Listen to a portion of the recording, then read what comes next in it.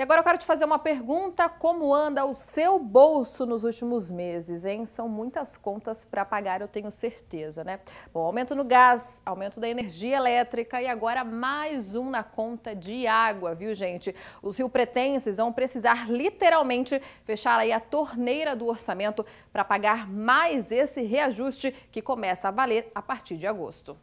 Fecha daqui, fecha de lá aperta mais para ter certeza que nenhuma gotinha está escapando. Com tantos aumentos, a vida dos rio-pretenses não anda fácil. E a partir do mês que vem, mais um reajuste. Agora é a conta de água, que vai ficar 5,12% mais cara. Parece pouco, mas no final das contas é muito. Tá um absurdo. E mais um aumento, a gente não vai dar conta, a gente vai para a rua. É um absurdo, né? Aumenta demais as coisas aí. E o salário nosso sobe, né?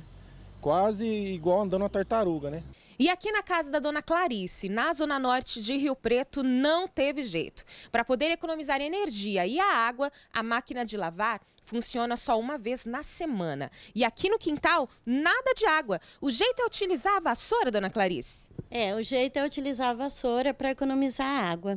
E vale tudo mesmo para tentar reduzir o valor da conta de água, que sempre vem acima de 130 reais, valor que pesa no orçamento mensal da família. Às vezes acaba deixando mesmo de pagar uma conta para pagar outra e estamos levando assim, né? Porque realmente não está cabendo dentro do orçamento.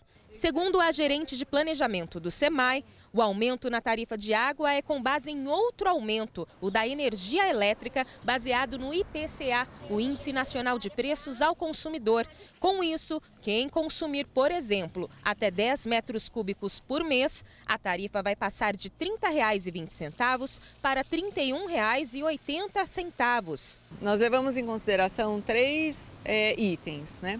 O IPCA, que é a inflação aceita por todos, a energia elétrica, que no nosso caso aumentou cerca de 17%. E uma outra variável foi a cobrança pelo uso da água, que o governo do estado passou a cobrar a partir deste ano. Ela ainda explica que com o valor, o SEMAI vai investir em melhorias no tratamento da água em Rio Preto. A construção de vários interceptores, que é para conduzir o esgoto todo da cidade lá para ETE.